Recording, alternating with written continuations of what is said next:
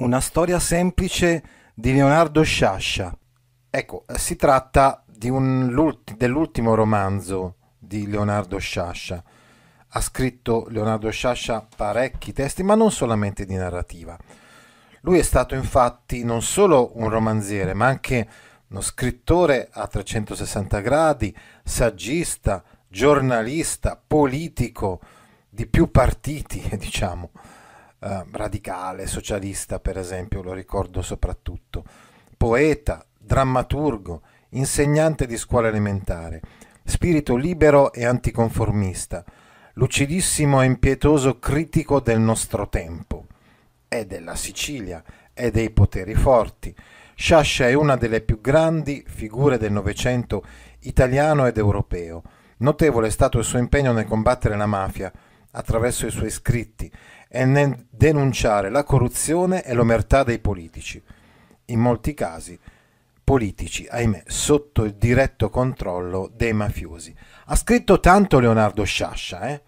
Cioè ha scritto, appunto, abbiamo letto insieme Il giorno della civetta e a ciascuno il suo, ma ha scritto anche testi sulla mafia, saggi, poi ha scritto La scomparsa di Majorana, quindi sui, sui ragazzi di Panisperna, eh, Candido, ovvero un sogno fatto in Sicilia, che ci fa capire subito la sua impronta illuminista, neo-illuminista, eh, La strega il capitano, Il cavaliere della morte, tanti testi, alcuni li, li leggeremo ancora, non vi preoccupate, nei prossimi mesi e anni.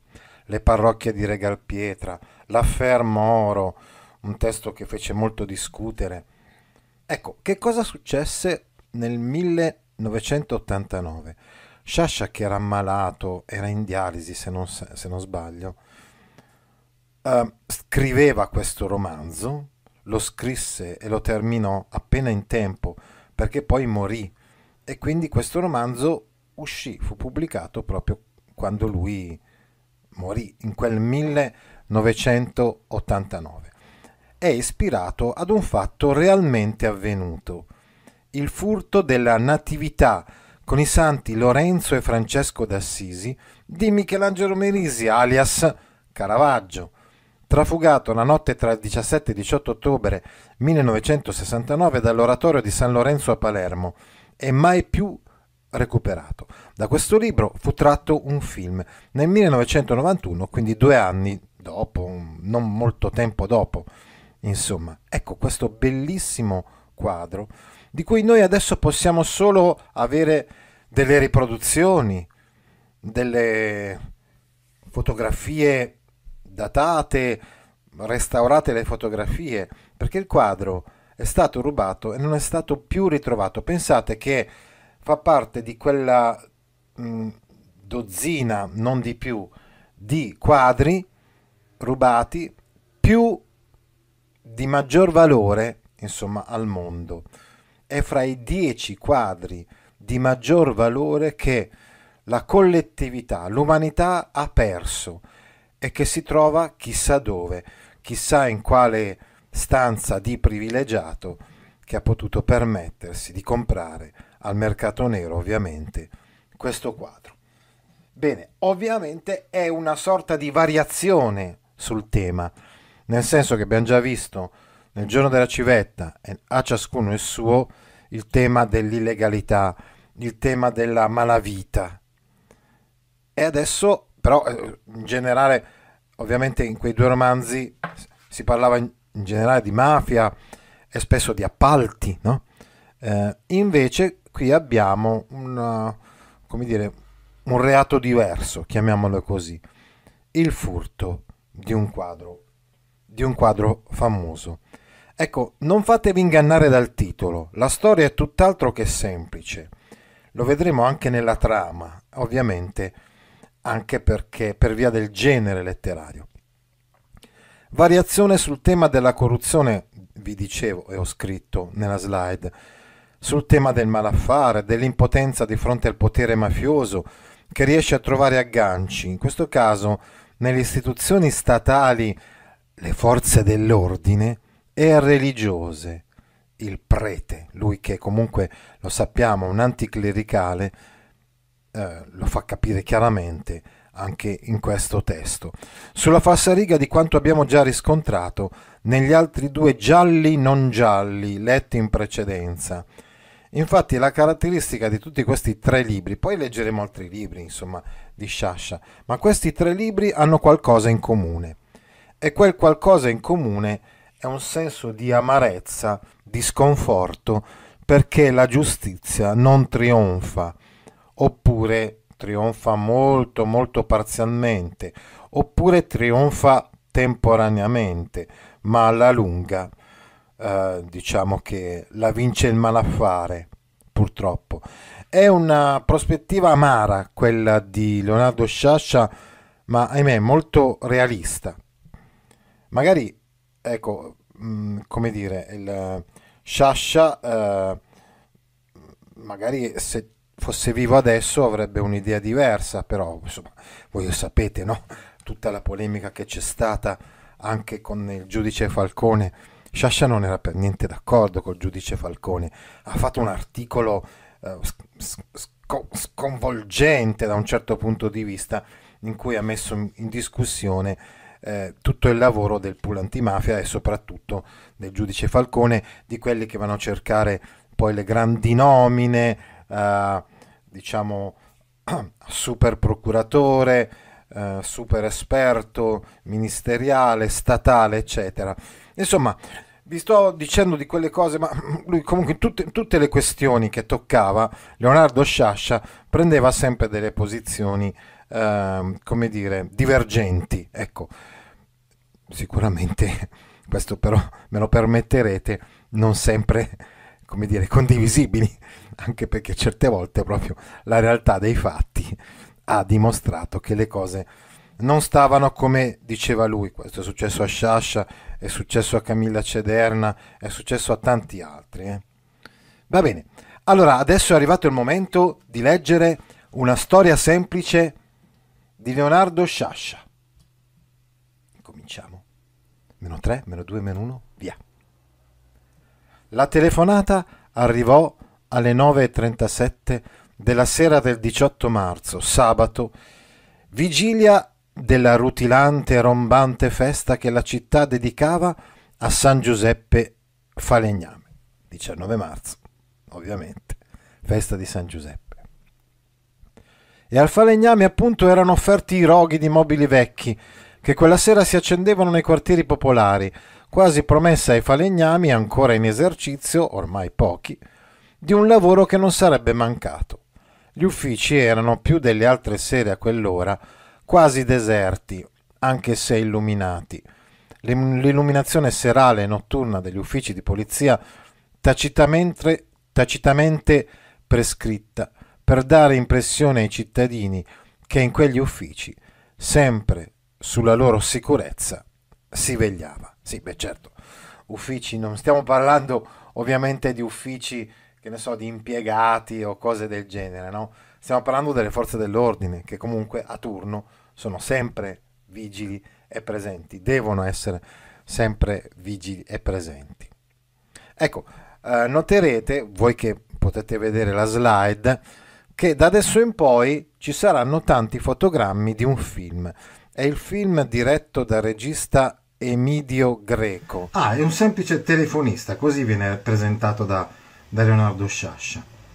Il telefonista annotò allora il nome della persona che telefonava, Giorgio Roccella. Aveva una voce educata, calma, calma suadente. Come tutti i folli, pensò il telefonista. Chiedeva infatti il signor Roccella del questore, una follia, specialmente a quell'ora e in quella particolare serata, cioè la vigilia della festa di San Giuseppe. Il telefonista si sforzò allo stesso tono, ma riuscendo a una caricaturale imitazione resa più scoperta dalla freddura con cui rispose. Ma il questore non è mai in questura a quest'ora. Freddura che in quegli uffici abitualmente correva sulle frequenti assenze del questore. E aggiunse Le passo l'ufficio del commissario, col gusto di far dispetto al commissario, che certo stava in quel momento per lasciare l'ufficio. Il commissario si stava infatti infilando il cappotto prese il telefono il brigadiere che aveva tavolo ad angolo con quello del commissario, ascoltò, cercò sul tavolo una matita e un pezzo di carta e mentre scriveva rispondeva che sì, sarebbero andati al più presto possibile, ma appena possibile, così collocando la possibilità in modo da non illudere sulla prestezza, cioè sulla rapidità. Cioè il brigadiere, il commissario basta, se ne sta andando, ecco. Il brigadiere dice sì, verremo appena possibile, ma facendo capire che magari non sarebbe stato proprio quella sera. Chi era? domandò il commissario. Un tale che dice da farci vedere urgentemente una cosa che si è trovata in casa. Un cadavere? scherzò il commissario. No, ha detto proprio una cosa. Una cosa. E come si chiama questo tale? Il brigadiere prese il pezzo di carta su cui aveva scritto nome e indirizzo e lesse Giorgio Roccella. Eccolo qui intanto il brigadiere nel film appunto di Emidio Greco è impersonato da Ricky Tognazzi, cioè il figlio di Ugo, di Ugo Tognazzi. Il brigadiere, dicevamo, prese il pezzo di carta su cui aveva scritto nome e indirizzo e lesse Giorgio Roccella, contrada Cotugno, dal bivio per Monterosso, strada a destra, 4 km, 15 da qui. Il commissario tornò dalla porta al tavolo del brigadiere, prese quel pezzo di carta, lo lesse quasi credesse di trovarvi qualcosa di più di quel che il brigadiere aveva detto e disse Non è possibile. Che cosa? domandò il brigadiere. Questo Roccella, disse il commissario, è un diplomatico console e ambasciatore non so dove. Non viene qui da anni. Chiusa la casa di città, abbandonata e quasi in rovina quella di campagna, incontrata Cotugno appunto, quella che si vede dalla strada in alto che sembra un fortino. Una vecchia masseria, disse il brigadiere. Ci sono passato sotto tanto, tante volte. E poi continua il commissario. Ecco, come vedete in questa slide, il commissario fu interpretato nel 1991 da Ennio Fantastichini, uno straordinario attore, spesso ingaggiato così per ruoli di secondo, potra- secondo, protagonista, per i quali comunque ha avuto anche dei riconoscimenti, perché era un attore straordinario nel 2018, ci ha lasciato eh, Ennio Fantastichini. Ecco, dicevamo, o meglio, dice il commissario, dentro il recinto per cui pare una masseria, c'è un villino molto grazioso, o almeno c'era. Grande famiglia quella dei Roccella, ma ora ridotta a questo console e ambasciatore che sia. Non credevo nemmeno che fosse ancora vivo, da tanto che non si vede. Se vuole, disse il brigadiere, vado a controllare. Ma no, sono sicuro che si tratta di uno scherzo. Domani magari se hai tempo e voglia, vai a dare un'occhiata. Per quanto mi riguarda, qualunque cosa accada, domani non mi cercate. Vado a festeggiare San Giuseppe da un mio amico in campagna. E così si chiude, diciamo, il primo capitolo. Ecco, passiamo alla giornata eh, successiva, alla mattinata successiva. Ecco, stavolta riassumiamo un po'. Secondo le indicazioni e consigli del commissario, il brigadiere mh, mm, aspetta il giorno successivo ad andare a controllare che cosa voleva questo signor Roccella, no? E cosa succede? Come vediamo in questo fotogramma, succede che trova il signor Roccella morto. E la situazione è molto particolare, molto strana perché la pistola è, per terra e, e, si trova un foglio, un foglio davanti, no? Su cui è scritto ho trovato, un eureka, chiamiamolo così, no? Con un punto. Ora, eh, tutta quanta la situazione può essere interpretata in due modi. Cioè, apparentemente sembra proprio la scena di un suicidio Sapete come quando uno, per esempio, scrive una frase eh, ad effetto e dice, insomma, eh, lascio questa vita così deludente e amara, vi lascio con affetto, eccetera, non so, frasi di questo genere. Ecco, e poi lo si trova magari accasciato con questa pistola che tra l'altro eh, diciamo che subito gli investigatori capiscono che effettivamente è una sua pistola, tra l'altro una pistola anche piuttosto vecchia, cioè che risaleva addirittura alla prima guerra mondiale, un ferraccio, chiamiamolo così, di, di pistola. Insomma, osservano tutta quanta la scena eh, e, e alcuni degli investigatori pensano, oh, c'è il mio amico uh, Simone Paoleschi che intanto mi ha scritto un messaggio. Sapete che Simone è il mio grande, diciamo, amico che mi segue eh, da tanto tempo e mi dice, su Instagram non si vede. Ok. E su YouTube non c'è l'audio. Oh maledizione. Purtroppo è vero che non ci sia l'audio su YouTube, ahimè, è una cosa che sta avvenendo purtroppo abbastanza spesso e questo mi spiace tantissimo. Vado subito adesso a cercare di, eh, come dire, riaccendere il microfono, o meglio, l'avevo acceso ed era anche, penso, acceso all'inizio, ma poi si vede che si è creato qualche problema. Allora, vediamo un po'. Samsung, prova, prova, prova. Prova il microfono. No. No, no, il microfono non, non dà segni di vita, anche se è stato uh, opportunamente collegato. Uh, e all'inizio sembrava proprio funzionare, adesso non dà segni di vita. Proviamo a usare i microfoni del computer allora a questo punto, anche se sono sicuramente meno mm, performanti, però almeno gli amici di YouTube possono sentire. Scusatemi amici di YouTube, non so perché, cosa che era già successa anche altre volte, il microfono si è spento, l'audio di nuovo, l'audio è andato via.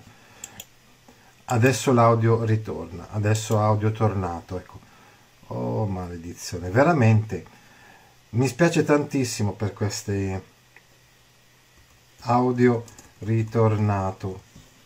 Ecco, intanto volevo spiegare. In buona sostanza, io mh, mm, cerco sempre di utilizzare questo microfono, che è un microfono più performante rispetto al microfono mh, mm, del, del computer. Eh, insomma del, del dispositivo ecco che è un microfono meno performante eh, però ecco, ovviamente visto che l'altro non so per quale motivo si è spento da solo adesso lo prendiamo questo qua e lo buttiamo via perché tanto stiamo usando l'altro quindi non ci serve proprio più ecco allora ricapitoliamo uh, su youtube adesso ciao Valentina intanto. Ciao carissima.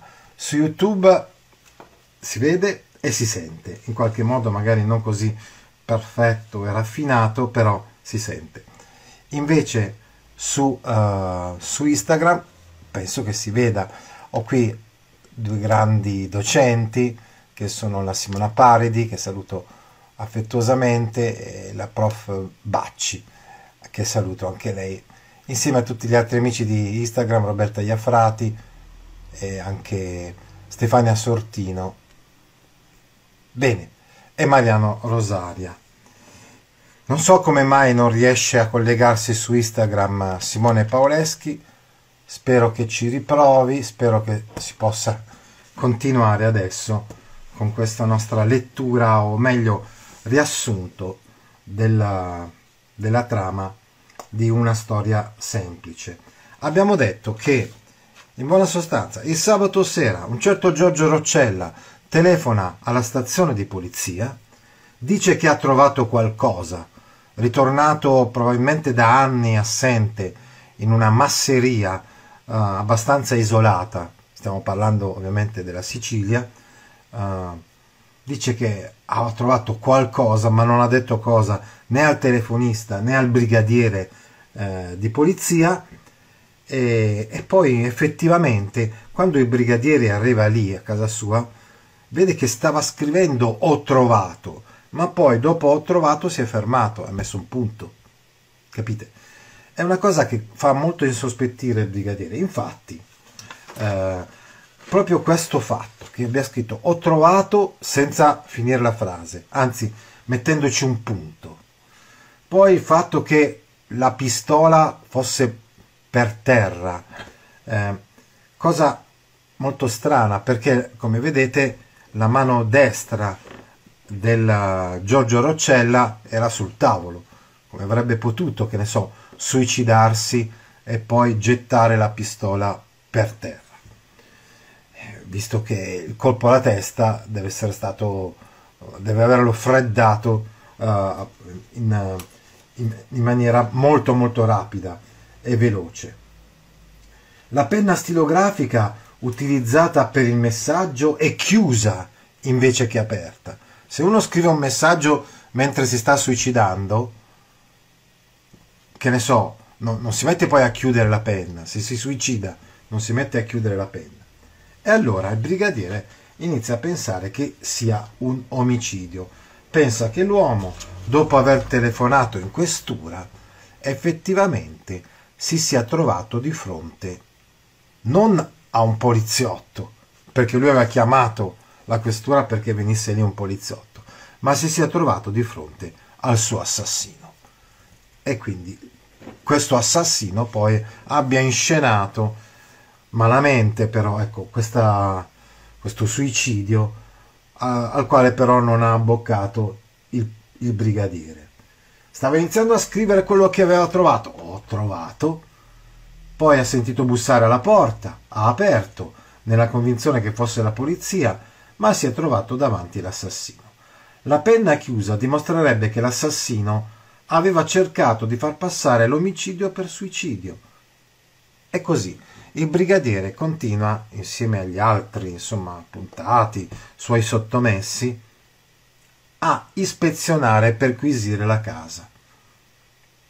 La casa è apparentemente abbandonata, però tutta una serie di elementi fa capire che c'era stato qualcuno, non solo Giorgio Roccella, ma qualcun altro, e non solo l'ultimo giorno, ma negli ultimi tempi, da un po' di tempo, c'era qualcuno che frequentava quella casa.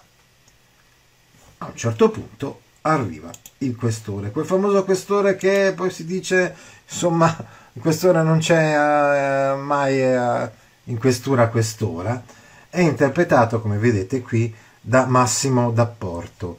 All'inizio il questore porta avanti la tesi del suicidio, gli sembra proprio un suicidio, poi è uno di quelli che, insomma, si metta alla scrivania con una pistola in mano, con la sua pistola in mano, appunto, non ci sono infatti tracce di altre eh, impronte digitali e, e, si tira un colpo scrivendo qualcosa. No? Ma come abbiamo già fatto capire, è più probabile la tesi del, del brigadiere. Ecco, uh, arriva il questore, poi dopo il questore arriva anche il procuratore della Repubblica. Come vedete, ah no, qui questo è il colonnello dei carabinieri. Ecco, tra l'altro, Qui abbiamo già una sorta di riflessione sulle forze dell'ordine. Già un po' implicitamente possiamo dire che già non ci hanno fatto una bella figura sin dall'inizio queste forze dell'ordine. Un commissario che non risponde al telefono perché è finito il suo turno e vuole andare via presto, non vuole rispondere al telefono e poi non si preoccupa neanche lui di andare a fare l'ispezione ma manda il brigadiere il giorno dopo. Poi uh, una certa leggerezza evidentemente con la quale lì comunque nella centrale di polizia hanno preso questa telefonata. Poi ecco la mancata collaborazione fra i due corpi delle forze dell'ordine, quello dei carabinieri che è dell'esercito e quello della polizia, questore, commissario, brigadiere che abbiamo incontrato sin dall'inizio del nostro incontro. Poi c'è il procuratore della Repubblica, si poi arrivano tutti, arriva il medico, arriva il fotografo, il giornalista, molti agenti e, e poi appunto gli agenti della scientifica. Il questore e il commissario rigettano la teoria del brigadiere, cioè inizialmente eh, portano avanti il discorso del, del, suicidio, che sarebbe anche un po' più semplice, appunto. No? Questa storia, l'abbiamo detto, non è per niente semplice. Se fosse stata semplice, Giorgio Roccella si sarebbe suicidato e è morta lì, diciamo. Invece, proprio tutti questi elementi che abbiamo individuato, cioè la pistola che si trova a lato, a fianco, anche abbastanza lontana, per terra, la penna stilografica che è chiusa, la frase con un punto, ma evidentemente incompiuta. Insomma, tutti questi elementi hanno portato il brigadiere a pensarla diversamente. E difatti anche il colonnello dei carabinieri è d'accordo col brigadiere, cioè dice anche secondo lui, insomma, si tratta di omicidio invece che, che di suicidio. Le indagini continuano, emergono nuovi indizi, si, ricostruis- si ricostruisce parte della vicenda, l'uomo effettivamente era tornato da poco, da pochissimo, proprio la sera prima, poche ore prima eh, appunto della sua morte. Entrando nella sua villa aveva trovato con sorpresa un telefono che prima della sua partenza non c'era.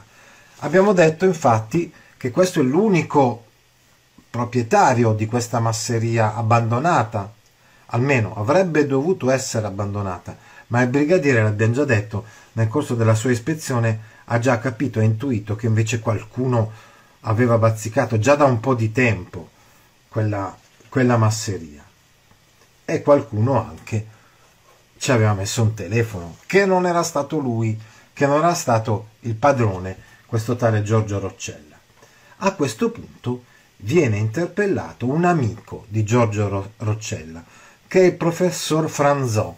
Il professor Franzò è interpretato da Gian Maria Volontè, un grandissimo attore, che si trova qui a recitare in uno dei suoi ultimi insomma, film, credo, eh, da attore, ma che è sempre stato molto attivo con questi, con questi registi e anche con questi scrittori e sceneggiatori abbastanza impegnati eh, nella società e nella politica. Il professor Franzò. Ci viene un po' in mente il Laurana, vi ricordate in A ciascuno il suo? Il professor Laurana era quello che aveva indagato e aveva già intuito anche probabilmente tutte le, le losche trame che c'erano appunto in una, in una vicenda mafiosa. Però purtroppo questo, insomma, non gli aveva giovato molto al professor Laurana. Eh, mentre invece ricordate che nel giorno della civetta c'era un capitano, no? se non sbaglio il capitano Bellodi di Parma, no? veramente storie amare, insomma, ripeto, eh, vi suggerisco comunque di leggere questi romanzi, ripeto, non sono romanzi molto lunghi, questo qui poi è cortissimo, questo della storia semplice. Viene chiamato quindi e interrogato il professor Carmelo Franzò, vecchio amico di Roccella. E, eh, e il professore dice che eh, Roccella l'aveva chiamato. Dice sono tornato uh, per recuperare delle lettere di Garibaldi e di Pirandello.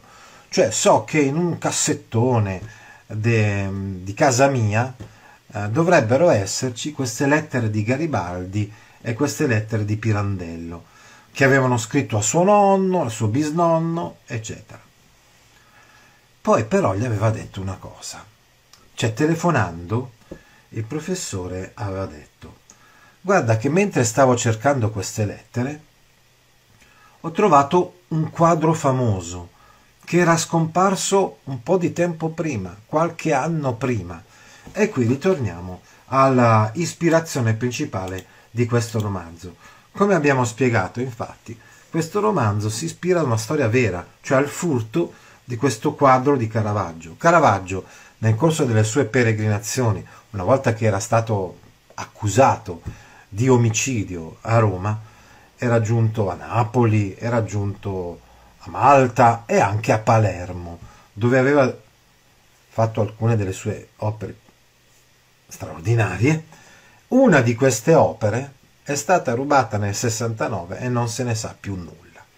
Ecco che a questo punto c'è il legame, diciamo, fra la vicenda inventata di una storia semplice e la vicenda reale del furto di questo quadro.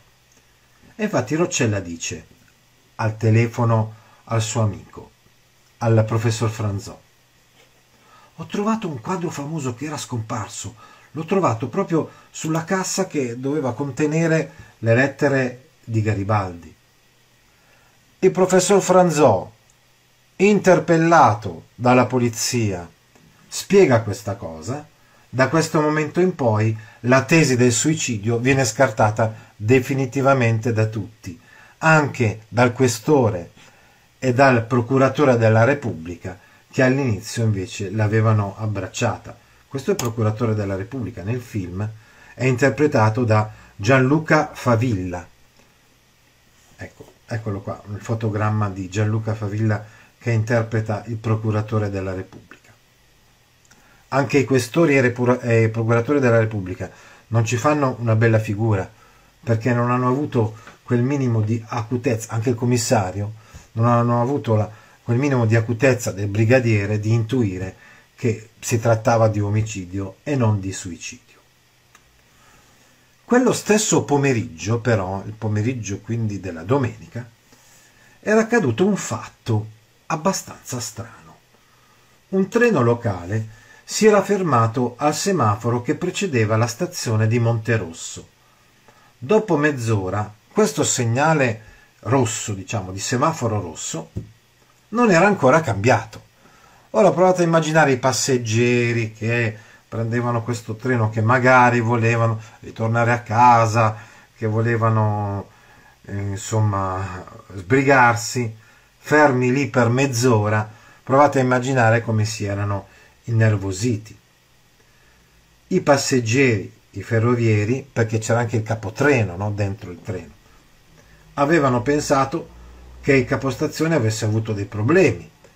E allora cosa fanno? Fermano la Volvo di un passante, appunto di uno di quelli magari che si trovava anche lui fermo al passaggio a livello, e avevano chiesto a questo signore di andare a vedere che fine aveva fatto il capostazione, no? Anzi, proprio il capotreno che chiede al conducente di questa Volvo di salire fino alla stazione per domandare cosa fosse successo. E però il semaforo rimane rosso, rimane rosso, a un certo punto in lontananza si scorge che questa Volvo, invece di tornare indietro, prosegue, attraversa il versante della collina e non torna indietro. E intanto il treno è sempre fermo, sempre fermo, sempre fermo, sempre fermo. A questo punto, ovviamente, diciamo che vengono interpellati le forze dell'ordine, la polizia, i carabinieri, vengono, vanno nella stazione per cercare di capire che cosa era successo al capostazione e vedono che il capostazione e il manovale sono stati uccisi. Si trovano quindi in una pozza di sangue lì nella stazione di Monterosso e uccisi, ovviamente si capisce, con dei colpi di pistola. A questo punto la polizia e i carabinieri, ma anche noi stessi magari, no? potremmo sospettare dell'uomo della Volvo. Se quello della Volvo ha cambiato strada, invece di tornare indietro, non è riuscito a a, insomma, a svegliare il capostazione, magari perché è andato lui ad ammazzare il macchinista e il capostazione. Ma ricordatevi, ve l'ho già spiegato, questa storia è solo apparentemente semplice. E infatti succede che poi questo uomo della Volvo addirittura si presenta lui spontaneamente in questura per raccontare che cosa ha visto il pomeriggio prima. Effettivamente lui è arrivato alla stazione, un uomo gli ha aperto la porta, altri due arrotolavano un qualcosa che a lui sembrava un tappeto. E allora, di fronte a questa deposizione, siccome le forze dell'ordine hanno continuato a insistere, a interrogare questo uomo della Volvo, uh, e lui non sapeva rispondere, non sapeva dire altro, allora in base a quel sospetto naturale che poteva avvenire, eh, questo uomo della Volvo viene trattenuto, una specie di fermo cautelare. Eccolo qua, eh, tra l'altro, questo uomo della Volvo è rappresentante di medicinali e questo è il commissario che sta interrogando l'uomo della Volvo. Come vi stavo spiegando, quindi eh, alla fine si decide di trattenerlo, cioè si decide il fermo di questo uomo eh, della Volvo. Poi cosa succede ancora? Ah sì, il procuratore, infatti, ecco, è stato lui, procuratore della Repubblica, ad avvallare questo fermo di polizia, perché ritiene che sia stato proprio lui, il rappresentante di medicinali, l'uomo con la Volvo, ad uccidere il capostazione e il, man- e il manovale. Convoca così il suo ex professore Franzò per un interrogatorio. Ecco, c'è un interrogatorio quindi tra il, uh, il procuratore della Repubblica, il magistrato insomma, e il professor Franzò. Che cosa succede durante questo interrogatorio? Succede che il procuratore della Repubblica si ricorda che il professor Franzora è stato il suo professore e quindi si mette un po' a ridere anche con il professore. Si ricorda, professore, quando mi dava sempre 3, 3, una volta però mi ha dato 5 in un compito di italiano. L'italiano, eh, ero piuttosto debole in italiano, ma come vede poi non è stato poi un gran guaio, nel senso Caro professore, lei mi metteva sempre 3, 3, 3, sempre insufficiente, al massimo 5, però intanto, come vede, io sono diventato procuratore della Repubblica. Eccomi qua come procuratore della Repubblica. Sapete cosa risponde però il professor Franzò?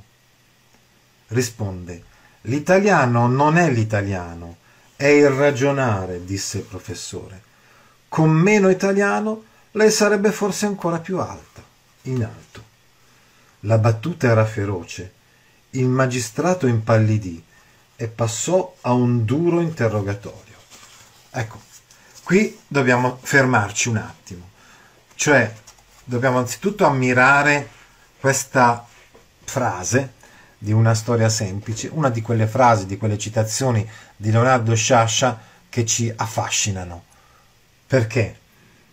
Perché dice l'italiano non è l'italiano, è il ragionare. Provate a pensare per me, che sono un dirigente scolastico, quale valore può avere questa frase.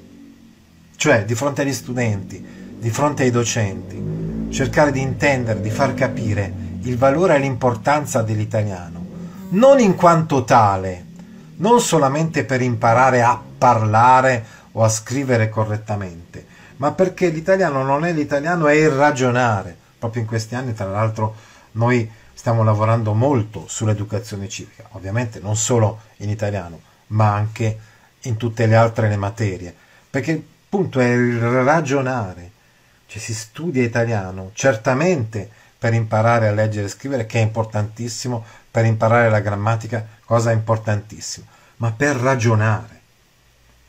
Con meno italiano lei sarebbe forse ancora più, più in alto. È una battuta veramente feroce, perché? È come se il professore insinuasse, ma se lei ragiona ancora di meno, fosse capace di ragionare, magari sarebbe ancora più in alto. È quella, come dire, quel pensiero divergente, dicevamo, quella critica amara di Leonardo Sciascia alla società, alla politica, sempre presente nei suoi libri, per cui è come se pensasse, qui la gente che è al potere è quella che ragiona di meno e infatti dice il professore, con meno italiano lei sarebbe forse ancora più in alto, cioè ricoprirebbe delle cariche ancora più importanti che semplice procuratore della Repubblica. Ve l'ho già detto, siamo nell'89, proprio nel periodo, poco tempo prima, insomma, Leonardo Sciascia aveva fatto quella, quell'articolo criticando Falcone, no? tutti questi arrivisti, no? questi magistrati che vogliono arrivare in alto, che vogliono diventare super procuratori antimafia, eccetera. Eh, perché questa era l'idea di Leonardo Sciascia. Questo ve l'ho già detto, però, idea non solo discutibile, ma anche smentita proprio dalla realtà. Però, ecco, era giusto per farvi capire il punto di vista di Leonardo Sciascia. Il magistrato impallidì e passò un duro interrogatorio. Vuol dire che a questo punto il magistrato, visto che prima era abbastanza cordiale, era stato abbastanza cordiale col professore, anzi si era messo perfino a prenderlo un po' in giro, no? perché gli dava dei voti insufficienti, adesso passa un duro interrogatorio, perché anche lui non può digerire molto questa battuta così pungente.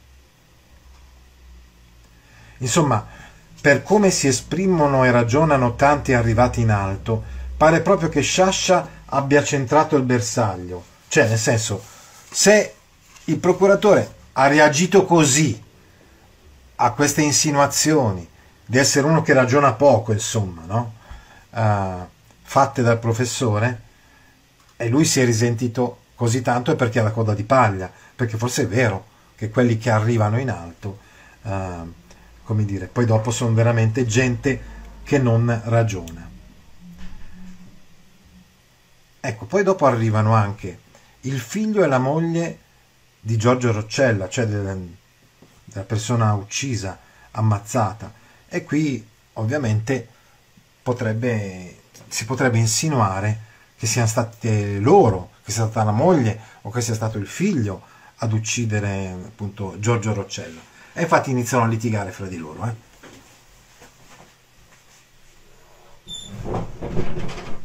Nel senso che eh, il, figlio accusa la madre, accusa sua madre e dice ah sei venuta qua per i soldi, eh? ma guarda che non ci sono soldi per te. La madre è molto anche lei eh, fredda e, e pungente con, con, il figlio e quindi tutti possono un pochettino eh, a questo punto ah, si arriva alla fine della, della, vicenda del giallo, chiamiamolo così, no? E, eh, compare un altro personaggio, tra l'altro, sulla scena, che è Padre Cricco. Padre Cricco, quando sa di tutta quanta la storia, avvalla l'idea del suicidio, ma abbiamo già detto che ormai tutte le forze dell'ordine hanno capito e intuito che non si tratta di suicidio. A questo punto uh, c'è un, un viaggio in macchina in cui troviamo il brigadiere. Ecco, il brigadiere in un certo senso rappresenta quelle forze di polizia come il capitano Bellodi, per esempio, del giorno della civetta, che vogliono arrivare alla verità. Abbiamo già visto che era il primo che aveva intuito, insomma, che si trattava di un omicidio, brigadiere Lepri, e non si trattava eh, di un suicidio. A questo punto dicevamo che eh, fa un viaggio insieme col professore. I due si trovano in perfetta sintonia fra di loro. No? Ritorna quella frase bellissima, no? che è la più bella frase di questo, di questo libro. L'italiano non è l'italiano, è il ragionare. Insomma, c'è una sorta di, insomma, di viaggio uh, in cui sono insieme il brigadiere e il, uh, e il professor Franzò. Ecco, a questo punto arriva, c'è l'ultima perquisizione della villa. Nel corso di questa perquisizione, tra l'altro adesso io vi sto per dire la fine del romanzo, siamo arrivati, lo vedete qua, proprio quasi alla fine del romanzo, per cui se questo romanzo vi è piaciuto tanto, perché effettivamente, per come ve l'ho riassunto, avrete capito che è un, che è un romanzo molto breve, che si legge in un pomeriggio, eh, volete leggerlo da soli, senza togliervi il gusto della, della conclusione, allora spegnete adesso e poi magari riascoltate l'ultima parte o rivedete l'ultima parte del video eh, in un altro giorno. Devo infatti spiegarvi che cosa succede nel corso di questa perquisizione. Il brigadiere e il commissario salgono in soffitta. Inizialmente il brigadiere non trova l'interruttore. Distinto il commissario gli dice che è collocato dietro una statua, è qui dietro la statua di Sant'Ignazio. A questo punto il brigadiere comincia a sospettare. Cioè, dice, ma il commissario aveva mica detto che non conosceva questa villa, non conosceva questa, questa masseria. Adesso invece lui sa dov'è l'interruttore. Come fa? Come ha fatto a capire che l'interruttore si trovava dietro la statua? Dal momento che all'inizio cioè, non era visibile l'interruttore. Lui a colpo sicuro dice al brigadiere che il come dire che l'interruttore è dietro la statua. È evidente che questa cosa, eh, come dire, genera un sospetto nel brigadiere. Cioè il brigadiere sospetta che il commissario sia coinvolto nel caso e che magari sta facendo di tutto per insabbiare il caso. E poi si trova anche insieme con il, ecco sì, insieme con il professor Franzò e eh, discute con lui, prendono un tè insieme, no? E leggiamo proprio quello che si dicono ormai verso la fine del romanzo. L'interruttore, cioè il brigadiere racconta al professor Franzò questo particolare. Aveva detto di non essere mai stato in quella casa, l'ha sentito anche lei, si rivolge al professore. Io avevo consumato un'intera scatola di fiammiferi cercando quell'interruttore. Gli altri poi erano venuti a cercarlo con le lampadine tascabili. Lui invece l'ha trovato subito, a colpo sicuro. E il professore dice, incredibile errore da parte sua. Cioè il professore è perfettamente, dicevamo, in sintonia con il brigadiere e gli fa capire che anche secondo lui questa è una sorta quasi di ammissione di colpa da parte del commissario. Incredibile errore da parte sua. Ma come ha potuto farlo? Che cosa gli è accaduto in quel momento? Evidentemente il commissario era talmente sicuro di sé che aveva indicato subito questo interruttore e sapeva bene dove era nascosto, anche se era evidente che solo una persona che conoscesse bene quel luogo poteva sapere dove si trovava quell'interruttore. Il brigadiere dice, forse un fenomeno di improvviso sdoppiamento. In quel momento lui è diventato il poliziotto che dava la caccia a se stesso. Quindi per un attimo ha smesso di ragionare il commissario, avrebbe dovuto essere molto più prudente e non far capire a tutti che sapeva benissimo dov'era quell'interruttore. Ma forse l'ha fatto perché adesso era immedesimato nel suo ruolo di commissario e quindi portava avanti le indagini il più rapidamente possibile. Commissario, poliziotto, che però dava la caccia a se stesso. Ecco, enigmaticamente, come parlando tra sé, aggiunse Pirandello.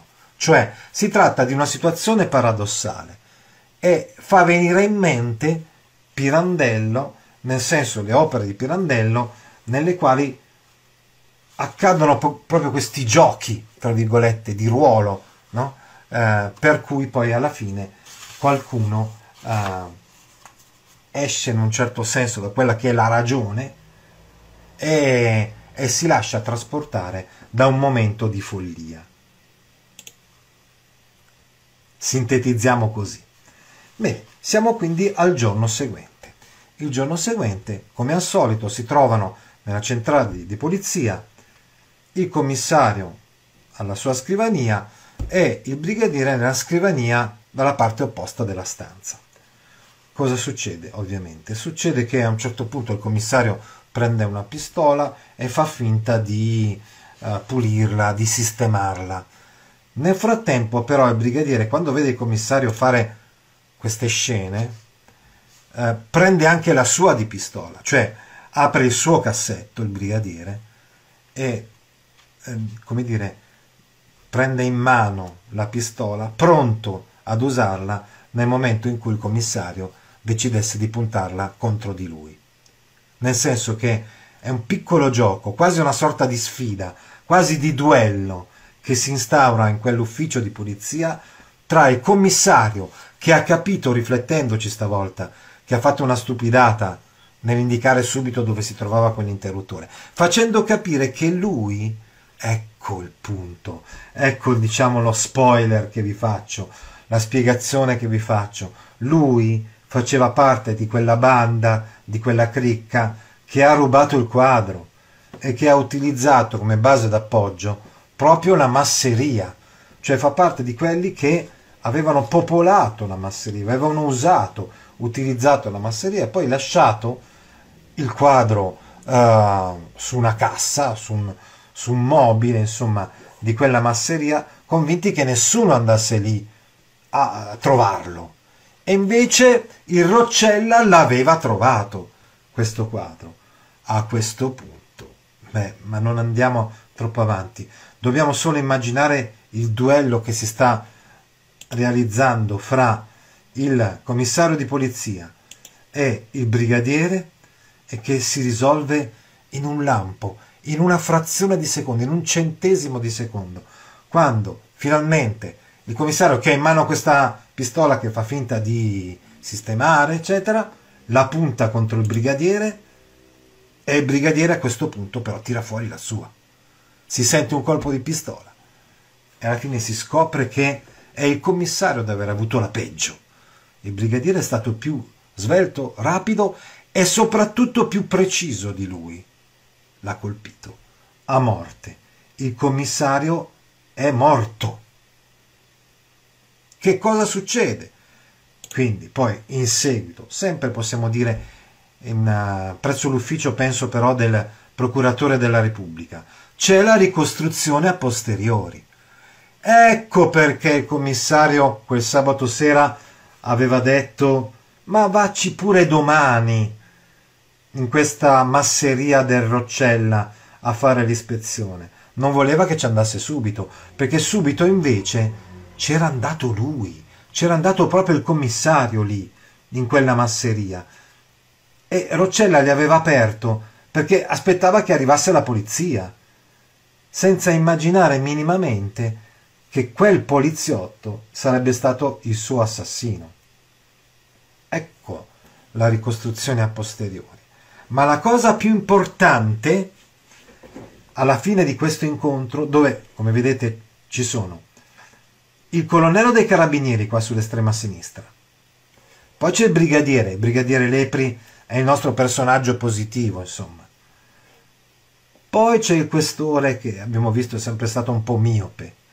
E poi soprattutto c'è il procuratore della Repubblica.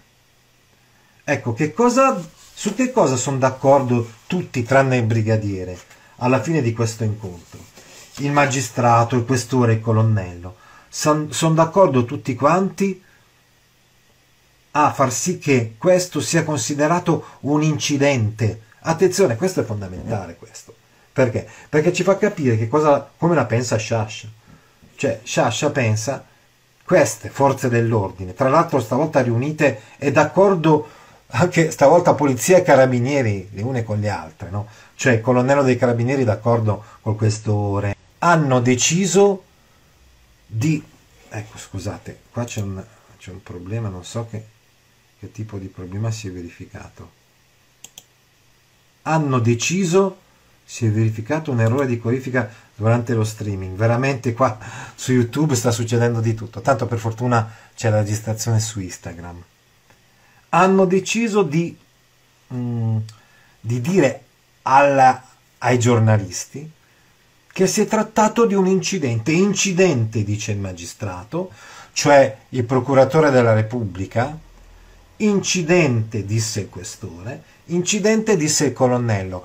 Il procuratore della Repubblica, che dovrebbe essere proprio quello che garantisce la giustizia, che accusa i malviventi, dice incidente, che vuol dire automaticamente che poi su questa vicenda si sarebbe chiuso, chiusa la pratica in buona sostanza, anche perché ovviamente non faceva onore alla polizia riconoscere che il commissario era coinvolto in una faccenda di furto di quadri e addirittura di assassinio, omicidio. Capite? E allora sono tutti quanti d'accordo su questo, che venga presentato questo come un, un incidente ed effettivamente poi il giorno seguente Cosa c'è scritto sui giornali? Brigadiere uccide incidentalmente mentre pulisce la pistola il commissario capo della polizia giudiziaria. Avete capito perché amara questa conclusione? Eh, ma non siamo arrivati ancora alla vera e propria conclusione del romanzo. Che cosa succede? Succede che giustamente viene rilasciato quel venditore di, di, di, medicinali. Ricordate quello, quell'uomo della Volvo, no? E a un certo punto, mentre lui sta uscendo dall'ufficio di polizia, intravede, eh, diciamo, il parroco, cioè quella, come si chiama, padre Cricco, che era stato anche lui interrogato, che aveva detto che secondo lui era un suicidio. Ecco, a un certo punto si incrociano gli sguardi di questo parroco, di questo prete e di questo venditore di medicinali e il prete dice, ma lei non è della mia parrocchia? E questo venditore, questo uomo della Volvo risponde, ma che parrocchia? Io non ho parrocchia. Anche questa è una frase una parola chiave, una frase chiave, diciamo così, della ideologia di Leonardo Sciascia. Leonardo Sciascia si è sempre caratterizzato per questo. Non aveva parrocchia, voleva dire sia, abbiamo già spiegato, che era un intellettuale anticlericale, ma anche che non era disposto a, uh, ad aderire a nessun'altra parrocchia e per altra parrocchia intenderemo lo Stato, i partiti, i partiti di massa soprattutto, perché aveva questa idea veramente di grande sfiducia nei confronti, ad esempio, della politica. E quindi in un certo senso questo venditore, questo rappresentante, volevo dire, di medicinali, anche lui è un alter ego di Leonardo Sciascia, nel momento in cui risponde così, perché Leonardo Sciascia era uno così, era uno che non aveva parrocchia. Ora però che cosa succede? Succede che il romanzo si chiude in questo modo. Dai, leggiamo almeno insieme proprio l'ultimissimo cap- capitolo. Appunto, stavo dicendo, padre Cricco lo fermò, fermò questo tale rappresentante di, di, medicinali, disse mi pare di conoscere lei della mia parrocchia, ma che parrocchia? Io non ho parrocchia, disse l'uomo, e uscì con gioiosa furia, finalmente contento di essere stato lasciato libero, rilasciato, cioè era finito il fermo di polizia. Trovò il posteggio con cedolo del contra... trovò la sua macchina, insomma, con una contravvenzione. Ma gli parve tutta una cosa da riderne, era talmente contento di poter essere stato finalmente liberato. Uscì dalla città cantando ma a un certo punto fermò di colpo la macchina, tornò a incupirsi e ad angosciarsi. Quel prete, si disse, quel prete. L'avrei riconosciuto subito se non fosse stato vestito da prete. Era il capostazione, o meglio, quello che avevo creduto fosse il capostazione. Insomma, quando lui effettivamente con la Volvo era andato su sollecitazione del capotreno a svegliare il capostazione, insomma, aveva visto che la porta era chiusa e eh, aveva, si era avvicinato a lui un uomo dicendogli insomma di andarsene e di non, di non impicciarsi. No? Quest'uomo in realtà era padre Cricco perché anche padre Cricco faceva parte, come commissario, di questo gruppo di malviventi che avevano rubato il quadro e poi ucciso, ucciso per esempio non solo Giorgio Roccella, ma anche, ricorderete, il capostazione e il manovale. A questo punto lui, il rappresentante di Medicinali, fa 2 più 2 4, cioè capisce, riconosce quel volto anche se vestito in un modo completamente diverso da come l'aveva visto. E dice, caspita, cosa faccio? Pensò di tornare indietro alla questura, cioè pensò di testimoniare alla polizia che quel prete in realtà probabilmente era stato fra gli assassini del capostazione e del manovale, visto che non era lui capostazione come aveva pensato nel momento in cui aveva raggiunto la stazione di Monterosso, doveva essere stato fra i suoi assassini, cioè fra gli assassini del capostazione. E allora quel tappeto che stava rotolando insieme ad un complice, in realtà non era un tappeto, ma era il quadro, il quadro rubato, il Caravaggio. Pensò di tornare indietro alla questura. A questo punto tutto si sarebbe nuovamente messo in moto. Si sarebbe messa in moto la polizia, le forze dell'ordine. Perché ricordate che in un certo senso l'assassinio del Roccella poteva anche essere stato risolto, tra virgolette, con la morte del commissario. Ma l'assassino del capostazione e del manovale e poi in generale la questione del furto non era stata risolta per niente. Ma loro avevano insabbiato il procuratore della Repubblica e poi anche questore e colonnello dei carabinieri, incidente, incidente, avevano insabbiato la vicenda perché non volevano farci fare una brutta figura alle forze dell'ordine. Pensò di tornare indietro alla questura. Quel rappresentante aveva intuito tutto. Ma un momento dopo, e che Vado di nuovo a cacciarmi in un guaio, e più grosso ancora. Riprese cantando la strada verso casa. Così termina il romanzo. Con questo rappresentante che non torna indietro. Capite? Ma eh, se ne va via e definitivamente la vicenda è chiusa senza che gli assassini, i complici del commissario, i ladri del quadro siano minimamente ricercati e il nostro padre Cricco continuerà a mostrarsi a tutti, davanti a tutti, una persona integerrima, addirittura il parroco, il prete della cittadina, ma in realtà è un malvivente.